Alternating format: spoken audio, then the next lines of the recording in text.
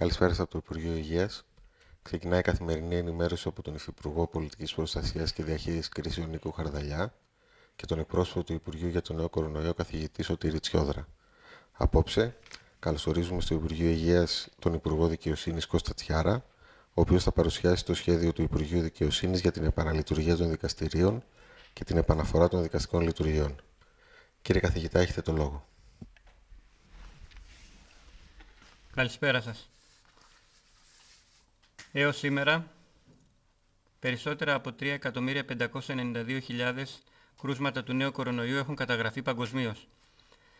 Στην Ευρώπη ως σήμερα το πρωί, 4 Μαΐου του 2020, είχαν καταγραφεί 1.384.000 περιπτώσεις της νόσου, με τις πέντε χώρες οι οποίες καταγράφουν τα περισσότερα κρούσματα έως σήμερα να είναι η Ισπανία, η Ιταλία, το Ηνωμένο Βασίλειο, η Γερμανία και η Ρωσία. Περισσότεροι από 1.165.000 συνάνθρωποι μας που ενώ μολύνθηκαν από τον ιό, ανέρωσαν, έγιναν καλά.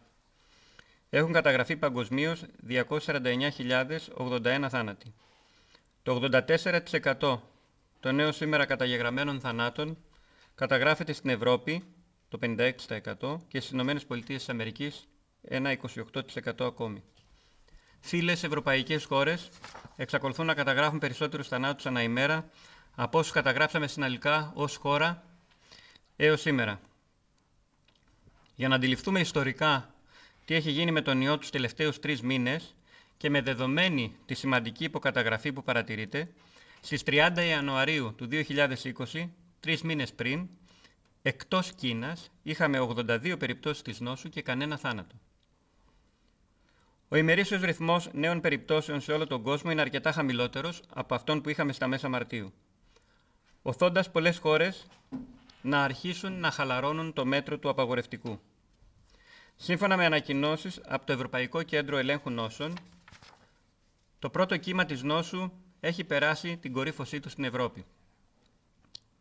Εν τούτης, πέντε χώρες εξακολουθούν να καταγράφουν αύξηση της περιπτώσης της νόσου ή μη σημαντικές διαφορές στην πορεία της νόσου τις τελευταίες 14 ημέρες.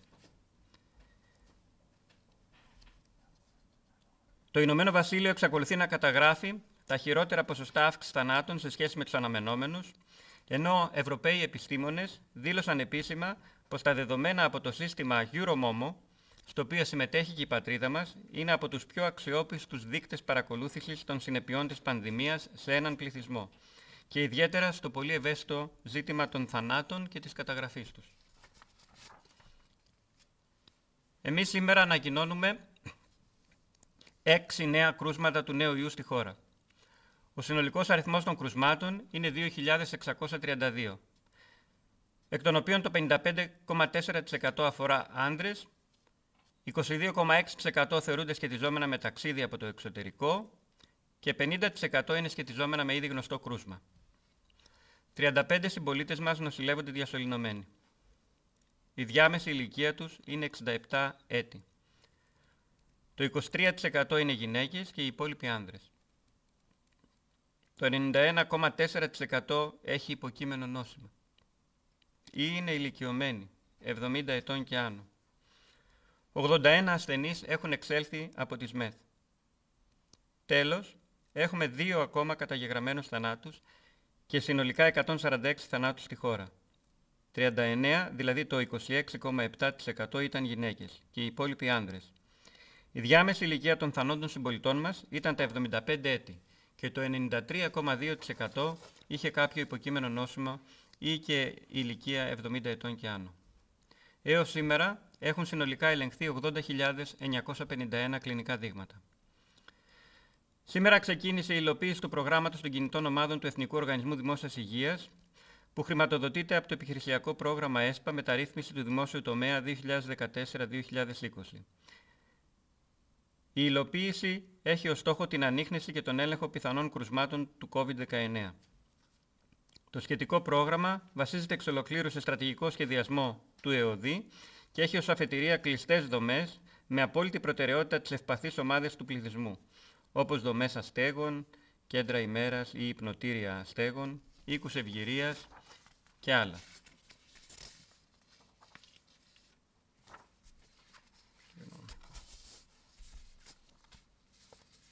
Λείπουν τα μισά μου. Δεν πειράζει, θα συνεχίσω έτσι. Όσον αφορά τις επιστημονικές εξελίξεις για τον ιό, να σας πω ότι τα εμβόλια είναι στο προσκήνιο της καθημερινής συζήτησης με περισσότερες από 100 ομάδες σε όλο τον κόσμο να έχουν ξεκινήσει μελέτες για τα εμβόλια. Μελέτες που περιλαμβάνουν φάσεις 1 και φάσεις 2 στρατηγική. Στη φάση 1 στρατηγική έχουμε μελέτες οι οποίες αφορούν πληθυσμό εθελοντών, οι οποίοι παίρνουν διαφορετικές δόσεις του εμβολίου με σκοπό να ανοιχνευτούν η ικανή δόση για την, να ανοιχνευτούν αντισώματα ή παρενέργειες από τη χωρίση των εμβολίων. Και όταν αυτές οι φάσεις 1 και 2 μελέτες προχωρήσουν, προχωράμε στη φάση 3 μελέτη που δίνεται σε ένα μεγάλο τμήμα του πληθυσμού, στο οποίο, στην οποία φάση 3 αυτό που εξετάζουμε είναι πλέον η χορήγηση του εμβολίου σε πραγματικές συνθήκες με τον ιό να κυκλοφορεί στην κοινότητα.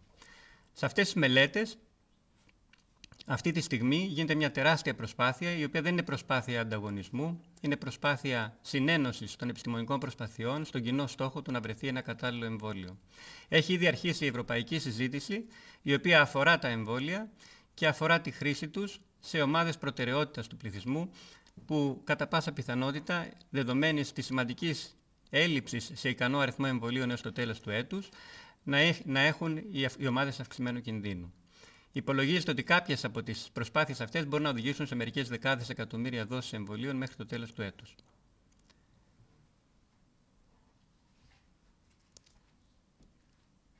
Σχετικά με την προσπάθεια όλων μας, αυτή τη στιγμή που είμαστε σε μια καλή φάση και η επιδημία είναι υπό έλεγχο στην πατρίδα μας, με χαμηλό αριθμό νοσηλευομένων, χαμηλό αριθμό ανθρώπων οι οποίοι είναι μονάδες διασωληνωμένοι, έχουν μεγάλη σημασία του να καταλάβουμε ότι όλοι είμαστε πολύτιμοι.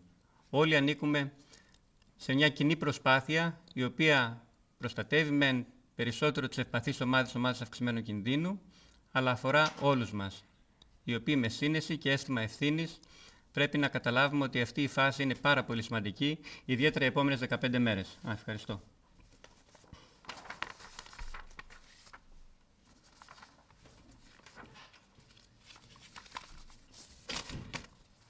Πέραν των ανωτέρων, η επιστημονική κοινότητα φαίνεται να καταλήγει σταδιακά πως παρατεταμένα θετικές PCR αφορούν τεχνικούς περιορισμούς στο ίδιο το διαγνωστικό τεστ, όπως ανακοινώθηκε από μελέτη σε 263 περιπτώσεις της νόσου στη Νότια Κορέα. Τα κύτταρα του αναπνευστικού επιθυλίου έχουν χρόνο εμίσια ζωής έως και τρεις μήνες. Κομμάτια του νεκρού πλέον ιού μπορεί να ανοιχνεύονται με PCR ένα έως δύο μήνες μετά την αρχική μόλυνση. Συγκεκριμένα στους ασθενείς, πραγματοποιήθηκε η πιο αξιόπιστη δοκιμασία για την ανείχνευση ενεργού ιού που μπορεί να μεταδοθεί. Η δοκιμασία της κυταρικής καλλιέργειας. Σε κανένα δείγμα δεν βρέθηκε ζωντανός ιός. Στα ίδια πειράματα, βρέθηκε πως η διαδικασία πολλαπλασιασμού του ιού αφορά το κύτταρο του ξενιστή χωρίς να αφορά τον πυρήνα του κυτάρου. Τι σημαίνει αυτό, σημαίνει πρακτικά πως ο ιός δεν προκαλεί υποτροπή της νόσου ή χρόνια λίμωξη.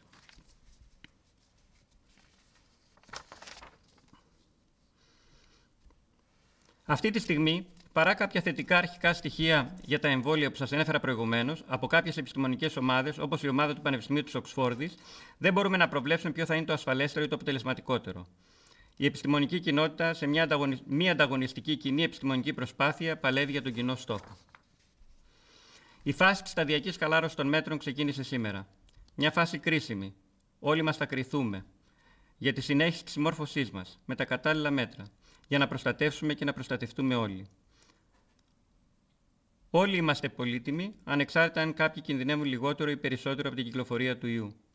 Τώρα που αυξάνονται οι επαφές στην κοινωνία, οφείλουμε να είμαστε σε επαγρύπνηση. Να παρακολουθούμε τον εαυτό μας για συμπτώματα όπως αυτά που σας έχω αναφέρει στο παρελθόν. Τα συμπτώματα τα οποία θα μας καθοδηγήσουν στον έγκαιρο εργαστιακό έλεγχο, στην έγκαιρη διάγνωση, στην ιχνηλάτηση των επαφών, στην απομόνωση, στον περιορισμό μας, στην αποφυγή της διασποράς του ιού. Σε αυτή την κοινή προσπάθεια είναι χρέος όλων μας να συμβάλλουμε από κοινού με υψηλό αίσθημα ευθύνης, ώστε να επιτύχουμε ακόμα περαιτέρω τον περιορισμό της διασποράς του ιού στην πατρίδα μας. Να μην έχουμε πάνωδο σε μια επιδημία η οποία θα πιέσει το σύστημα υγείας, θα πιέσει όλους μας. Σας ευχαριστώ. Ευχαριστούμε κύριε καθηγητά. Το λόγο έχει ο κύριος Καρδαλιά. Καλησπέρα από την πολιτική προστασία. Όπως είπε ο κύριος καθηγητής, σήμερα το πρωί αφήσαμε πια πίσω μας 42 ημέρες πρωτόγνωρων διαδικασιών και περιορισμών και μπήκαμε στη δεύτερη φάση της νέας μας προσπάθειας. στη φάση της σταδιακής επιστροφής σε μια νέα καθημερινότητα. Μια διαδικασία που έχει τις δικές της δυσκολίες αλλά και τις δικές της προκλήσεις. Μια διαδικασία που προποθέτει για την επιτυχή ολοκλήρωσή της την τήρηση των κανόνων ατομικής προστασίας και υγιεινής. Προκειμένου να διασφαλίσουμε ότι κινούμαστε στη σωστή πορεία, η διαδικασία αυτή θα αξιολογείται καθημερινά και θα προχωράμε σταδιακά, προσεκτικά από τη μία φάση στην άλλη και πάντα ανάλογα με τα επιδημιολογικά δεδομένα. Γιατί ο ιός, θα το λέω συνέχεια, είναι ακόμη εδώ. Δεν πρέπει λανθασμένα να θεωρήσουμε ότι το τέλος της πρώτης φάσης σημαίνει ότι πλέον έχουμε ξεφύγει από τον κίνδυνο. Δεν συμβαίνει κάτι τέτοιο.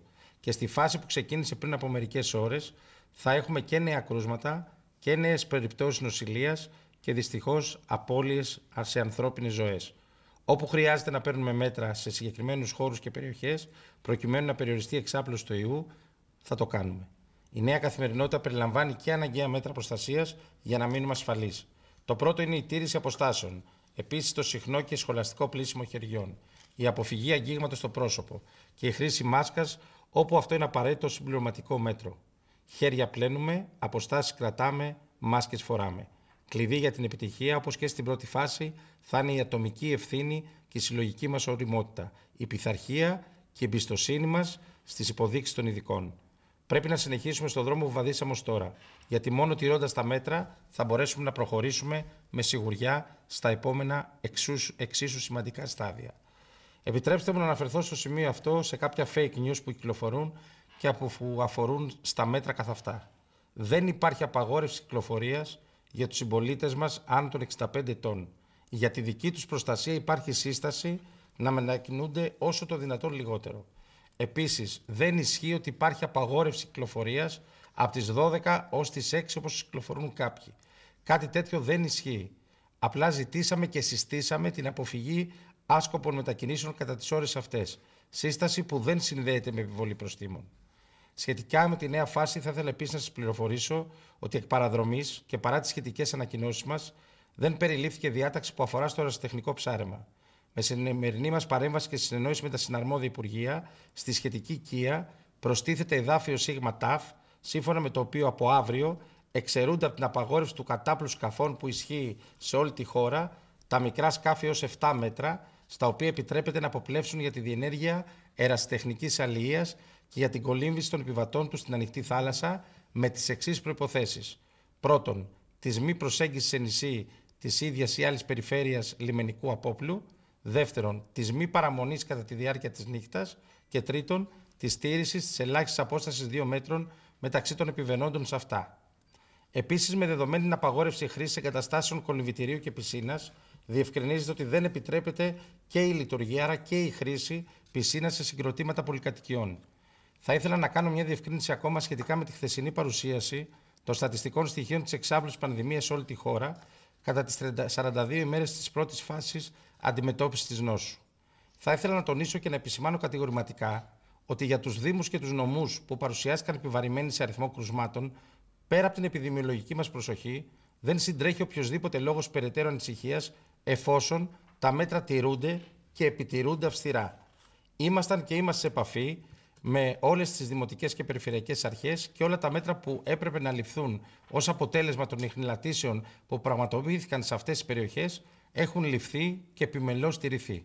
Στις περιοχές αυτές, όπως άλλωστε και στο σύνολο της χώρας, επιβάλλεται ιδιαίτερα αυστηρή τήρηση των μέτρων ατομικής υγιεινής και η αποφυγή άσκοπων μετακινήσεων και κυρίως συγχρονισμού. Και όλα θα πάνε καλά. Ω Γενική Γραμματεία, θέλουμε να χαιρετήσουμε την έναρξη και λειτουργία των πρώτων κινητών μονάδων του ΕΟΔΗ για την διενέργεια των τεστ, σύμφωνα πάντα με τις υποδείξεις των ειδικών.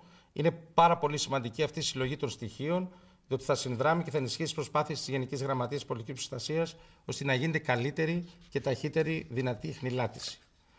Όσο αφορά στα επιχειρησιακά ζητήματα, θα ήθελα να σας ενημερώσω ότι σήμερα το βράδυ σταματούν να ισχύουν τα επιπλέον περιοριστικά μέτρα στην κυκλοφορία πολιτών στο Δήμο Ερμιονίδας. Ταυτόχρονα όμως για προληπτικούς λόγους παρατείνεται η καραντίνα που έχει επιβληθεί στη δομή στο Κρανίδι για 7 ημέρες. Επίσης, σήμερα το βράδυ ολοκληρώνεται η καραντίνα στους οικισμούς Ζουμπούλη και Αρναούτη του Δήμου Μίκη στην Ξάνθη, ενώ λήγει και η ισχύ των πρόσθετων περιοριστικών μέτρων στην κυκλοφορία πολιτών που είχαν επιβληθεί στο σύνολο του Δήμου Μίκη. Θα θέλαμε να ευχαριστήσουμε και δημόσια τους κατοίκους και τις τοπικές αρχές για την υπομονή τους και τη συνεργασία τους. Και ευχόμαστε να μην χρειαστεί να βρεθούν ποτέ ξανά αντιμέτωποι με μια τόσο δύσκολη συγκυρία. Κλείνοντας, θα ήθελα να κάνω αναφορά στους ελέγχους που πραγματοποιήθηκαν κατά την πρώτη φάση της προσπάθειας αυτών των 42 ημερών. Συνολικά 36.230 άτομα έχουν περάσει τα σύνορα της χώρας και έχουν τεθεί σε 14 ημερη καραντίνα, ενώ από τους ελέγχους στα σύνορά μας εντοπίστηκαν 547 θετικά κρούσματα, τα οποία και τέθηκαν σε απομόνωση. Αγαπητοί μου συμπολίτες, κυρίες και κύριοι, μπήκαμε σε ένα νέο στάδιο της προσπάθειάς μας. Κάναμε το επόμενο βήμα. Δεν θα πρέπει όμως να θεωρήσουμε ότι η διαδρομή προς τη νέα κανονικότητα είναι εύκολη ή έστω είναι δεδομένη. Ο πόλεμος δεν έχει κρυφθεί ακόμα. Υπάρχουν και άλλες μάχες, πολλές μάχες που πρέπει να δώσουμε καθημερινά. Είναι αναγκαίο να βάλουμε στην άκρη την κούραση, αλλά και την εύλογη κόπωση που μπορεί να νιώθουμε και να συνεχίσουμε την ίδια αποφασιστικότητα και την ίδια επιμονή. Συνεχίζουμε να τηρούμε ευλαβικά τους κανόνες. Συνεχίζουμε να παραμένουμε υπεύθυνοι. Μόνο έτσι μένουμε ασφαλείς. Σας ευχαριστώ. Ευχαριστούμε κύριε Υπουργέ. Το λόγο έχει ο κύριος Τσιάρας. Σας ευχαριστώ. Κυρίες και κύριοι, μετά από εισήγηση της αρμόδιας επιτροπής του Υπουργείου Υγείας έναντι του κορονοϊού, το Υπουργείο Δικαιοσύνης έκανε την περασμένη εβδομάδα το πρώτο βήμα για την επανεκκίνηση των δικαστικών εργασιών που τελούν σε αναστολή από τις 13 Μαρτίου του 2020. Ειδικότερα, έχει ήδη ξεκινήσει από τις 28 Τετάρτου του 2020 η λειτουργία όλων των υποθηκοφυλακίων, έμιστων και άμιστων, καθώς και των κτηματολογικών γραφείων σε όλη την επικράτεια. Παράλληλα, έχουν ήδη ξεκινήσει στα ειρηνοδικεία και τα πρωτοδικεία όλης της χώρας όλες οι δικαστικές εργασίες που συνδέονται με την ομαλή λειτουργία των υποθηκοφυλακίων. Από την πρώτη μέρα της επανεκκίνησης της δικαιοσύνης εφαρμόζονται οι συστάσεις της αρμόδιας επιτροπής. Πρώτον, για χρήση μάσκας και απολυμαντικού υγρού. Δεύτερον, για τήρηση της απόστασης του 1,5 μέτρου μεταξύ προσώπων. Και τρίτον, για ένα άτομο ανά 10 τετραγωνικά μέτρα σε κλειστούς χώρους. Σήμερα παρουσιάζουμε τα επόμενα βήματα μέχρι την τελική αποκατάσταση όλων των λειτουργιών της δικαιοσύνης, σύμφωνα με το χρονοδιάγραμμα που ήδη έχει ανακοινώσει ο Πρωθυπουργός ένα χρονοδιάγραμμα νέων διαδικασιών που εκκινούν σταδιακά και η τήρηση του οποίου συναρτάται βεβαίως με την εξέλιξη της πανδημίας και τις σχετικές εισηγήσεις της Επιτροπής Δημόσιας Υγείας. Οι εργασίες στα δικαστήρια ξεκινούν σταδιακά ως εξής. Από τις 6 Μαΐου επανέρχεται σε μεγάλο βαθμό η κανονικότητα στη διοικητική δικαιοσύνη.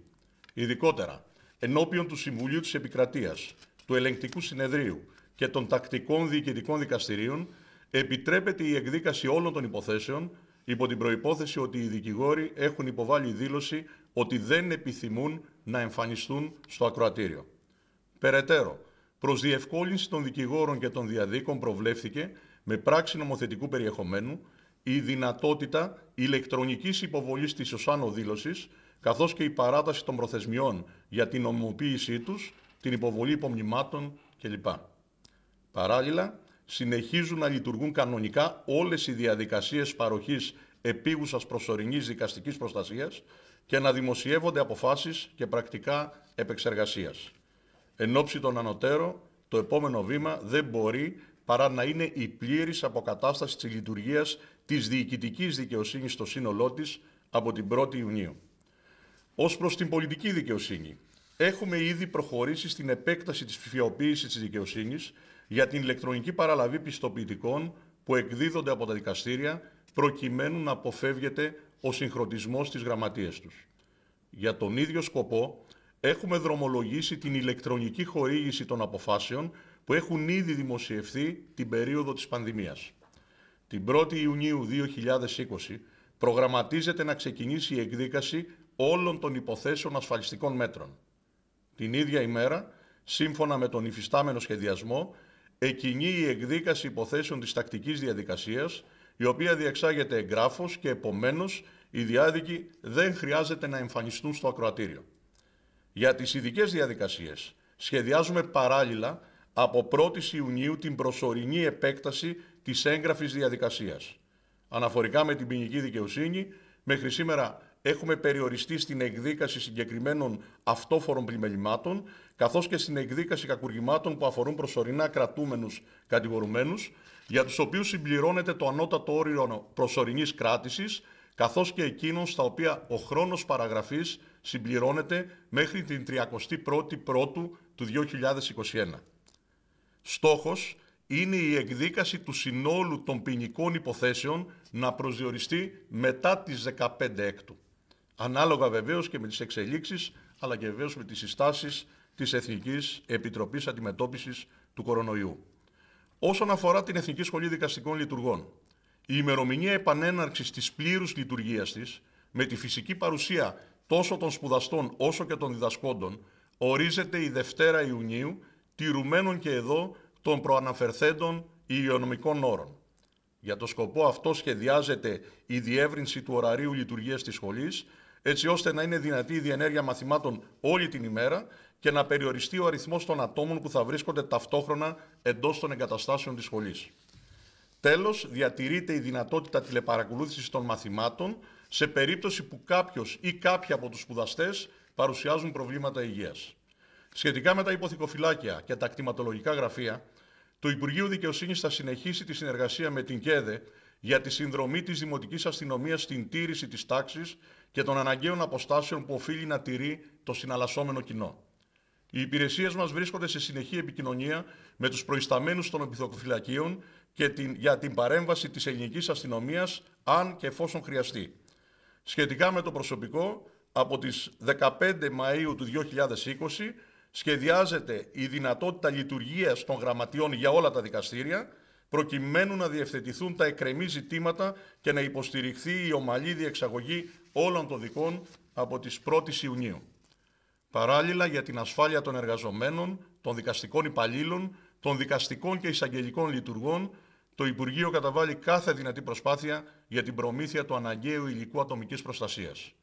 Σημειώνεται ότι το Υπουργείο Δικαιοσύνης σε συνεργασία με τα όργανα διοίκησης των δικαστηρίων θα λαμβάνει όλα τα αναγκαία μέτρα σύμφωνα με τις υποδείξεις της Επιτροπής Αντιμετώπισης Εκτάκτων Συμβάντων Δημόσιας Υγείας από λιμογόνους παράγοντες, προκειμένου να εξασφαλιστεί η συνεχής, ασφαλής και απρόσκοπτη λειτουργία των δικαστηρίων. Σας ευχαριστώ πολύ. Ευχαριστούμε κύριε Υπουργέ. Να περάσουμε σε ερωτήσεις. Η κυρία Κροντήρια από τον τηλεοπτικό σταθμό Sky. Κύριε Τσιόδρα και κύριε Χαρδαλιά, σε ποιο βαθμό ο πολύ χαμηλός αριθμός νέων κρουσμάτων σχετίζεται με τις υψηλές θερμοκρασίες, μπορούμε να είμαστε αισιόδοξοι ότι, ότι με την περαιτέρω άνοδο της θερμοκρασίας θα έχουμε τη λήξη του πρώτου κύματος της πανδημίας στη χώρα μας; Σε περίπτωση που συμβεί κάτι τέτοιο, η Ελλάδα προετοιμάζεται για έλευση τουριστών συνάπτοντας συγκεκριμένες συνεργασίες με άλλες χώρες; Όσον αφορά τα, τις επιδράσεις του, του, της θερμοκρασίας στον ιό, έχουμε μιλήσει αρκετές φορές στο παρελθόν, είναι ένα ακόμα ζήτημα αβέβαιο. Ε, θεωρείται ότι σύμφωνα με δεδομένα από άλλους κορονοϊούς που κυκλοφορούν στη φύση ότι θα υπάρχει μια μείωση της διασποράς τους. Ε, δεν είναι σίγουρο όμως αυτό. Χώρες ε, ε όπως ε, η Σιγκαπούρη, ε, ο Ισημερινός και κάποιες άλλες χώρες οι οποίες έχουν ψηλή θερμοκρασία εξακολουθούν να καταγράφουν κρούσματα ε, παρά τις υψηλές θερμοκρασίες. Φαίνεται ότι δεν είναι μόνο η υψηλή θερμοκρασία, είναι ε, τα ποσοστά υγρασίας στον αέρα ε, και ε, όλα αυτά θα παίξουν καθοριστικό ρόλο. Για παράδειγμα, χαμηλή υγρασία και ε, χαμηλές θερμοκρασίες βοηθούν τη διασπορά του ιού. Πολύ ψηλές θερμοκρασίες με υψηλά ποσοστά υγρασίας δεν βοηθούν τη διασπορά του ιού, τον κατακριμνίζουν και, και ίσως το συνδυασμό των δύο, δηλαδή πολύ ψηλές θερμοκρασίες με χαμηλά ποσοστά υγρασίας, να έχουν αρνητικό, αρνητική επίδραση, κάτι που δεν είναι γνωστό ευρέως. Ε, Πάντως υπολογίζεται από τους περισσότερους ανθρώπους οι οποίοι κοιτάνε τα μαθηματικά μοντέλα και τις εκτιμήσεις και τα δεδομένα για άλλους κοροναϊούς ότι υπάρχει μια μείωση το καλοκαίρι. Ε, υπολογίζεται από κάτω μπορεί να είναι 20-30%. Δεν νομίζω ότι θα οδηγήσει σε εξαφάνιση της παρουσίας του ιού. Ε, φυσικά ε, κάτι τέτοιο δεν είναι κάτι που δεν το επιθυμούμε, αλλά ε, αυτή τη στιγμή υπάρχει μια βεβαιότητα. Πρέπει να την πούμε ότι δεν είναι σίγουρο ότι θα εξαφανίσει τον ιό και ιδιαίτερα και για έναν ακόμα λόγο, ότι θα μπορεί να εισαγάγει ε, κάποια χώρα τον ιό από άλλες χώρες οι οποίες ε, έχουν διαφορετικές συνθήκες ε, περιβαλλοντικές, διαφορετικές συνθήκες θερμοκρασίας και υγρασίας. Σας θυμίζω κάθε χρόνο, ας πούμε, για παράδειγμα, έχουμε εισαγωγή περιστατικών γρήπης από το νότιο ημισφαίριο, όπου υπάρχει και κυκλοφορεί ιός της γρήπης, παραδείγματος χάρη στην Οκεανία, στην Αυστραλία, που είναι μια χώρα που έχει πολλούς Έλληνες και έρχονται επισκέπτες στην Ελλάδα και έχουν πολλές φορές διαγνωστεί ε, και σειροές κρουσμάτων γρήπης το καλοκαίρι. Μικρές, γιατί δεν ευνοείται η παραμονή του ιού στο περιβάλλον. Μακάρι ένα τέτοιο σενάριο να είναι υπαρκτό. Εάν είναι υπαρκτό και αν τα δεδομένα μας δείξουν μια τέτοια εικόνα, θα συζητηθεί μια στρατηγική ε, ε, η οποία θα αφορά τον τουρισμό. Ήδη γίνονται προσπάθειες και συζητήσεις για αυτό το θέμα και με το Υπουργείο Τουρισμού και η ειδική ομάδα υποεπιτροπή της Επιτροπής Εμπειρογνωμόνων αλλά και υποεπιτροπή ανθρώπων που ασχολούνται με την ταξιδιωτική ιατρική στο ΝΕΟΔΗ ε, νομίζω έχουν γίνει κάποιες ανακοινώσεις από το Υπουργείο Τουρισμού ή θα γίνουν περισσότερες. Είναι νωρίς ακόμα να μιλάμε γι' αυτό. Α εξακολουθήσουμε να έχουμε αυτή την καλή πορεία πριν μιλάμε για κάποια α, ε, ευρεία τουριστική κίνηση το καλοκαίρι. Περισσότερες χώρες μάλλον το αποκλείουν. Παρ' όλα αυτά, εμείς αισθανόμαστε μια αισιοδοξία για την πορεία του στη χώρα μας και θα δούμε με ποια συγκεκριμένα κριτήρια θα μπορεί να γίνει μια τέτοια επάνωδος. Παραδείγματος χάρη, μπορεί να είδατε ε, το Σαββατοκύριακο ότι κάποιες χώρες ε, στην κεντρική Ευρώπη υιοθετούν στρατηγικές ελέγχους στα αεροδρόμια. Ε, ε, για παράδειγμα, μια χώρα, η, ε, Αυστρία, να το πω, ε, υιοθέτησε μια στρατηγική ελέγχου στο αεροδρόμιο που θα ελέγχονται άνθρωποι που έρχονται για ολιγοήμερο παραμονή στην Αυστρία άματη αφήξη τους και θα παρακολουθούν την υγεία τους. Αν είναι λιγότερο από τέσσερις μέρες που είναι η, περίοδος, η μέση περίοδος επόαση του ιού, θα μπορούν και να φύγουν χωρίς να μπουν σε κάποια καραντίνα, αν είναι αρνητική ή κάποια παρακολούθηση τη υγείας τους. Θα δούμε. Αυτές οι στρατηγικέ συζητώνται. Αυτές οι στρατηγικέ θα γίνουν αντικείμενο ακόμα περισσότερης ε, ε, συζήτησης που αφορά το, το, τουριστικό κύμα και την τουριστική περίοδος. Σε αυτές τι στρατηγικές θα μπουν και η τεχνική ε, της χρήση ε, ε, αντισωμάτων, ε, τα οποία αντισώματα εφόσον τα τελευταία επιστημονικά δεδομένα που δείχνουν ότι 100% των ανθρώπων που έχουν περάσει την ίωση αυτή μετά τις 19 μέρες έχουν θετική ε, παρουσία αντισωμάτων, ε, θα βοηθήσουν πολύ στο να υλοποιηθεί κάποιο πρόγραμμα περιορισμένης κατά τη γνώμη μου τουριστικής κίνησης, αλλά θα δούμε. Τα, τα δεδομένα είναι μπροστά. Ε, η πορεία της επιδημίας στη χώρα αξιολογείται μέρα με την ημέρα. Ε, νομίζω είναι νωρίς να μιλήσει ακόμα κανείς γι' αυτό. Παρ' όλα αυτά, καταλαβαίνω ότι χρειάζεται να γίνει και κάποιος προγραμματισμός αν είναι να υπάρξει κάποια τουριστική κίνηση και γι' αυτό υπάρχουν ειδικές υποεπιτροπές της Επιτροπής Εμπειρογνωμόνων που συζητούν αυτό το θέμα. Δεν ξέρω αν θέλει να προσθέσει ο Υπουργός κάτι παραπάνω. Ο κ. Τεβετζόγλου από το protagon.gr. Με βάση ποια υγειονομικά εχέγγυα σχετικά με το εισερχόμενο ρεύμα προγραμματίζουμε τουριστικό άνοιγμα και πώς θα μπορούμε να το διαχειριστούμε ώστε να διασφαλιστούν οι περιφερειακές περιοχές από ενδεχόμενη διασπορά; Θα υπάρξει πρόβλεψη για εξαίρεση στη μετακίνηση προσωπικού προς τα νησιά ώστε να γίνει προετοιμασία ξενοδοχείων, εστιατορίων και μπαρ και πόσο νωρίτερα; Νομίζω το ανέφερα προηγουμένως. Όλα αυτά είναι μέσα στον ειδικό σχεδιασμό που συζητάτε. Φυσικά και απομονωμένες περιοχές ή περιοχές με μικρότερη πρόσβαση στο σύστημα υγείας, τι οποίες χειριστήκαμε σαν ιδιαίτερα ευάλωτες κατά την πρώτη φάση της επιδημίας, εξακολουθούν να μας απασχολούν ως προ ποια θα είναι ακριβώς τα κριτήρια επανεκκίνησης κάποιας κίνησης σε αυτές τις περιοχές, όπου χρειάζεται να είμαστε ιδιαίτερα επιφυλακτικοί και ακόμα περισσότερο για τις ευπαθείς ομάδες που ζουν σε αυτές τις περιοχές. Δεν νομίζω ότι πρέπει να μιλάμε για μαζικές ε, τύπου εκδηλώσεις με τον τρόπο που τις γνωρίζαμε ε, έως σήμερα και αυτές αφορούν κάποιες από τις εκδηλώσεις τις οποίες αναφέρει το δημοσιογράφος ε, μέχρι να έχουμε καλύτερα δεδομένα για την πορεία του ιού και στη χώρα μας και σε άλλες χώρες. Αλλά ε, θεωρώ ότι είναι κάπως υπερβολικό να μιλάμε ακόμα και για συγκεκριμένες δραστηριότητες. Ήδη, ε, όπως ε, έχετε ακούσει πούμε, για την εστίαση, με, με, με πολύ σύνεση και σοφροσύνη, μιλάμε για εστίαση μόνο σε εξωτερικούς χώρους. Δια, Διαδικασίες και συναθρήσεις, οι οποίες θα είναι μικρές, το τονίζω και πάλι, και θα αφορούν τους εξωτερικούς χώρους, θα βλέπουμε σταδιακά να αυξάνονται περισσότερο. Ε, τώρα, αν θα φτάσουμε σε μια πλήρη απελευθέρωση της κίνησης σε εξωτερικούς χώρους, νομίζω είναι ακόμα νωρίς να το πούμε. Αλλά δεν ξέρω αν ο Υπουργός θέλει να πει κάτι παραπάνω. Ε, βήμα με βήμα αξιολογούμε την κατάσταση και επειδή και οι δύο ερωτήσεις βασίστηκαν στο ίδιο, ε, στα ίδια δεδομένα και στο ίδιο περίγραμμα, ε, είναι εξίσου σημαντική η συζήτηση όσο και πρόορη. Ε, πάντως το σίγουρο είναι ότι όλες ε, αυτές οι διαδικασίες τις παρακολουθούμε και στα ευρωπαϊκά και στα διεθνή φόρα. Όχι απλά τις παρακολουθούμε, συμμετέχουμε ενεργά στη διαμόρφωση των τελικών ε, πρωτοκόλων και σχεδίων και από εκεί και πέρα το πολύ σημαντικό νομίζω είναι ότι οποιοδήποτε άνοιγμα τουριστικό θα πρέπει να γίνει με όρους ασφάλειας και για τους επισκέπτες αλλά και τους συμπολίτες μας που θα τους υποδεχθούν. Η κυρία Βέργο από την Εφημερίδα των Συντακτών. Κύριε Κοντοζαμάνη, δεδομένου ότι αρχίζει σταδιακά να ανοίγει η κοινωνία, αναμένεται αύξηση των κρουσμάτων και η δυνατότητα διεξαγωγής τεστ είναι καθοριστική για την παρακολούθηση της πορείας του ιού. Ποιες είναι οι δυνατότητές μας ως χώρα και ποια είναι η επιδημιολογική στρατηγική μας όσον αφορά το μοριακό έλεγχο αλλά και τον έλεγχο αντισωμάτων; Ποιες είναι οι εκτιμόμενες ανάγκες και πώς θα ενισχυθούν τα δημόσια εργαστήρια; Μπορείτε να μας δώσετε μια αναλυτική κατάσταση με αριθμούς; Πόσα και ποια εργαστήρια συμμετέχουν στο μοριακό έλεγχο, με τι δυναμικό το κάθε ένα, με πόση μέγιστη δυνατότητα διεξαγωγής τεστ ημερησίως. Τα ίδια εργαστήρια θα κάνουν τα τεστ αντισωμάτων. Ναι, ευχαριστώ. Καταρχήν, να τονίσω για μία ακόμη φορά ότι στη στρατηγική μας παραμένει ο μοριακός έλεγχος του αίματος σε ό,τι αφορά τη διάγνωση του κορονοϊού. Ε, θα υπάρξουν ε, στη στρατηγική μας και η διεξαγωγή τεστ αντισωμάτων, κυρίως σε ό,τι αφορά την ε, επιδημιολογική επιτήρηση του κορονοϊού. Μέχρι σήμερα, όπως έχει πει και ο καθηγητής, έχουν διεξαχθεί περισσότερα από 80.000 κλινικά ε, δείγματα ε, στη χώρα σε ό,τι αφορά τη μοριακή ανείχνευση του κορονοϊού.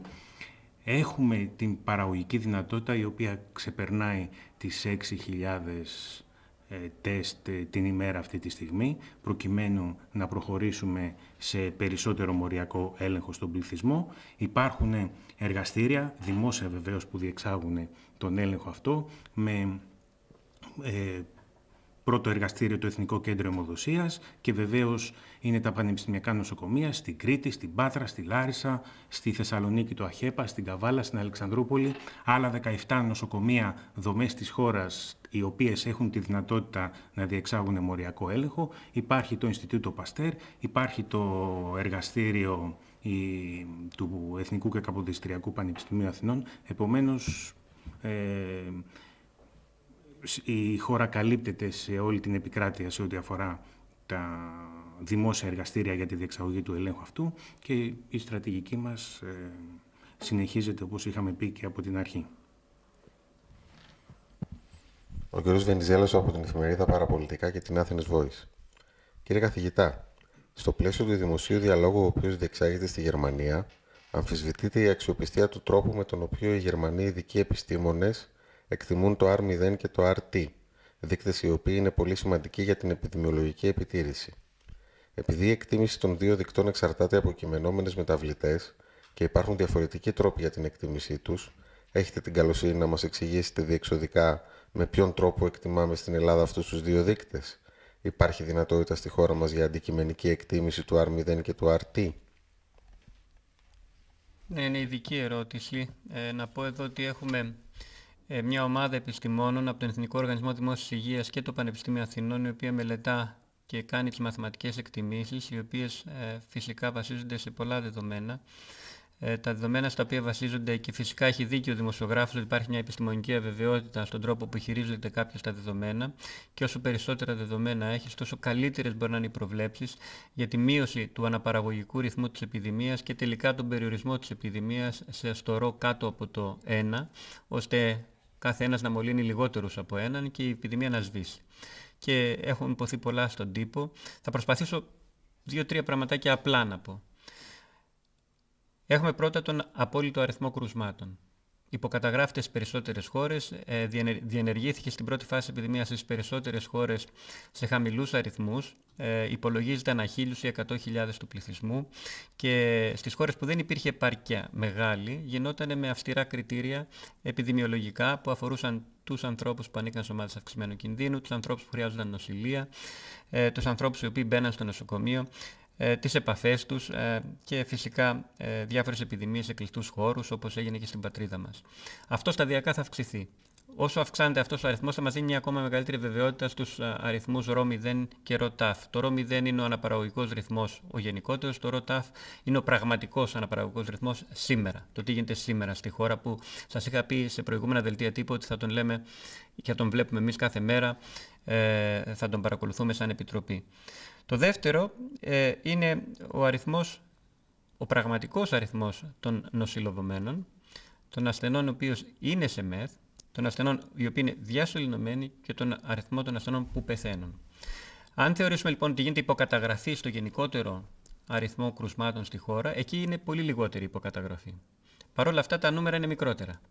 Και όσο καλύτερα είναι τα μέτρα, τόσο μικρότερα είναι τα νούμερα.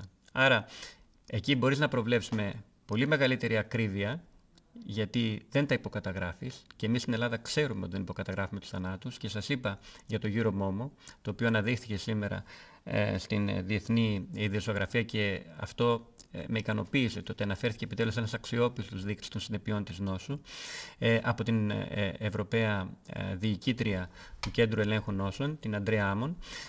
Θέλω να πω λοιπόν εδώ ότι με βάση αυτούς τους αριθμούς, οι οποίοι είναι πολύ σκληρά δεδομένα, πολύ κοντά στην αλήθεια, ε, μπορεί να κανείς να φτιάξει μια πολύ ακριβέστερη εικόνα του ΡΟ0 και του ΡΟΤΑΦ. Οι Γερμανοί, για παράδειγμα, δεν μπορούν να το κάνουν γιατί δεν έχουν πλήρη καταγραφή των θανάτων και μάλιστα εμείς κάναμε και ένα, ακόμα, μια ακόμα υπερβολή. Οποιοδήποτε πέθαινε από ή με COVID καταγραφόταν σαν να πέθαινε από COVID. Άρα θυμάμαι για παράδειγμα μια εγκεφαλική αιμορραγία. Ε, το να έχεις COVID δεν σημαίνει απαραίτητα ότι πεθαίνεις από το COVID. Εμείς το καταγράφουμε σαν να πεθαίνεις από COVID. Το βάζουμε δηλαδή μέσα στην κοινή δεξαμενική. Είμαστε, νομίζω είμαστε σωστοί που το κάναμε αυτό. Ε, Εκεί λοιπόν που η υποκαταγραφή είναι πολύ λιγότερη, στα σκληρά δεδομένα, χρησιμοποιούμε για να εκτιμήσουμε ακόμα καλύτερα το ρο0 και το ρο-ταφ, το οποίο δεν μπορούν να το κάνουν οι Γερμανοί. Όσο περισσότερο χρησιμοποιείς τεστ για να διαγνώσεις την νόσο στον πληθυσμό, παραδείγματος χάρη θυμάστε στα διαγνωστικά μας κριτήρια, βάλαμε πλέον οποιονδήποτε έχει συμπτώματα λίμωξου αναπνευστικού, πάει στο γιατρό και θέλει να ελεγχθεί. Όσο λοιπόν καλύτερα καταγράφεις τον αριθμό των κρουσμάτων στην κοινωνία σου, Κάτι που το κάνανε λίγο περισσότερο στη Γερμανία, αλλά το κάνανε όχι με ειδικά κριτήρια, το κάνανε ελεύθερα και σε ήπια περιστατικά. Θα μπορείς να έχεις μια μεγαλύτερη ακρίβεια στι εκτιμήσεις. Το διάστημα εμπιστοσύνης να μειώνεται.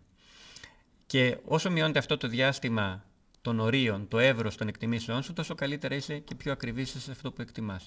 Και νομίζω αυτό θα γίνει με την πάροδο των ημερών και των εβδομάδων στη χώρα. Θα έχουμε περισσότερα περισσότερους αριθμούς για να εκτιμήσουμε το τι θα γίνει.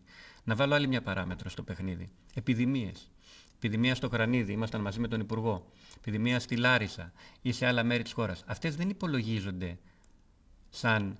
Δεν τα προσθέτεις στα κρούσματα, γιατί είναι διαφορετική η επίδρασή τους στο ρο0 και το ρο-ταφ.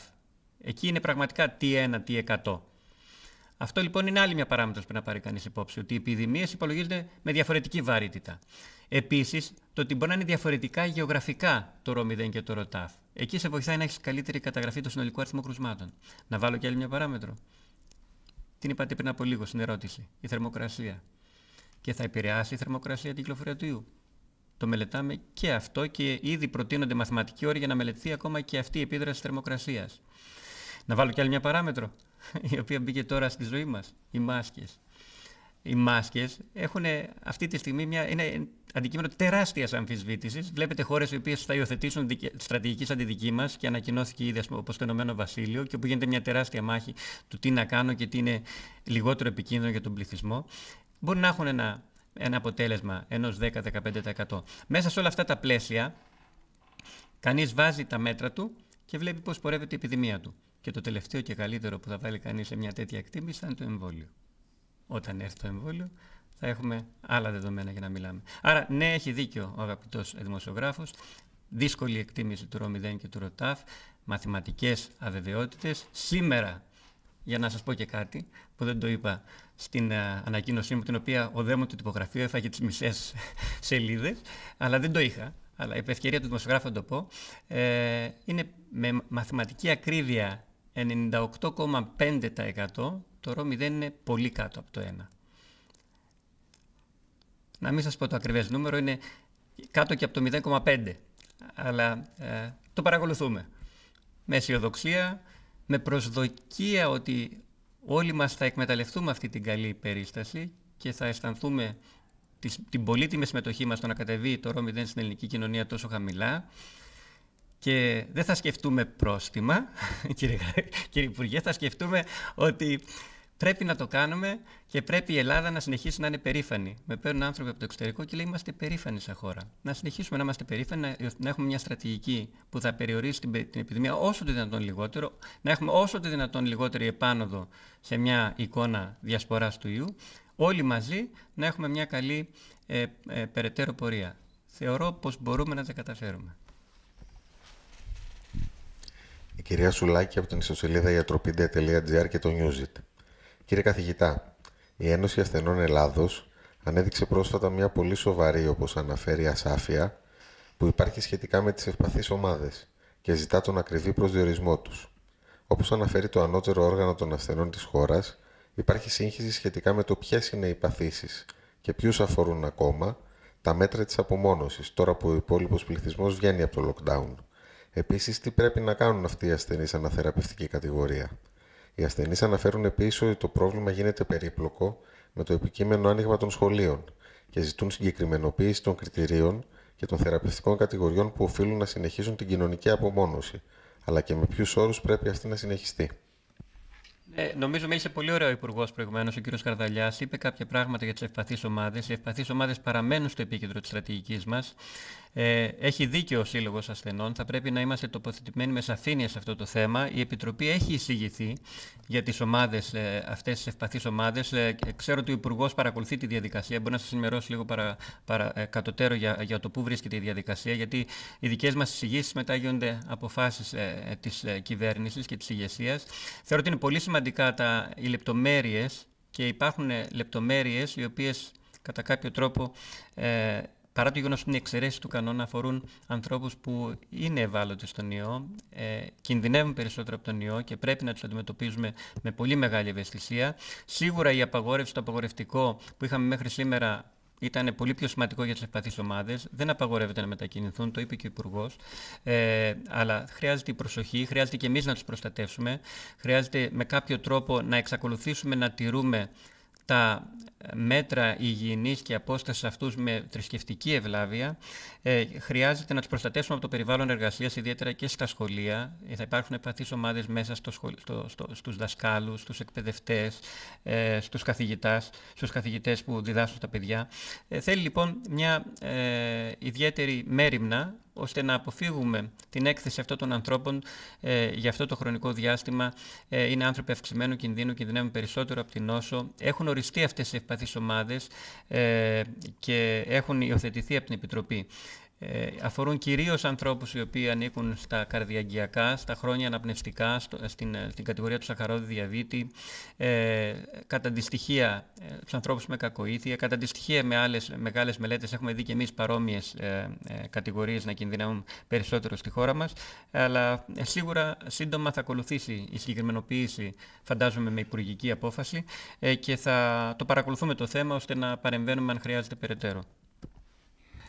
Ναι, να διευκρινίσω το εξής. Η λίστα με τις ομάδες του πληθυσμού που διατρέχουν κίνδυνο νόσησης από τον COVID-19 είναι δυναμική. Και αυτό γιατί προστίθεται κάθε μέρα νέα επιστημονικά δεδομένα και ανάλογα αποφασίζουμε. Υπάρχει μια, ήδη έχει εκδοθεί μια κοινή υπουργική απόφαση που περιλαμβάνει αυτές τις ομάδες και είναι σε διαδικασία έκδοσης εντός των επόμενων ημερών μια δεύτερη κοινή υπουργική απόφαση η οποία συμπληρώνει τη λίστα αυτή με νέες ομάδες τις έχουμε ήδη πει, όπως είναι τα, άτομα, τα πολυμεταγγιζόμενα άτομα, τα άτομα με δερπανοκυταρική ανεμία και άλλες ευαίσθητες ομάδες του πληθυσμού που ήδη υπάρχουν, όπως είπε και ο καθηγητής, ε, μεταξύ των οποίων οι εγκυμονούσες, τα άτομα άνω των 65 ετών, τα άτομα που έχουν διαγνωστεί με νεοπλασίες, τα άτομα με, ε, που είναι σε σοβαρή ανοσοκαταστολή, ε, τα άτομα με αιματολογικές κακοήθειες και ούτω καθεξής. Κυρία Κομνηνού από το ραδιοφωνικό σταθμό Αθήνα 984.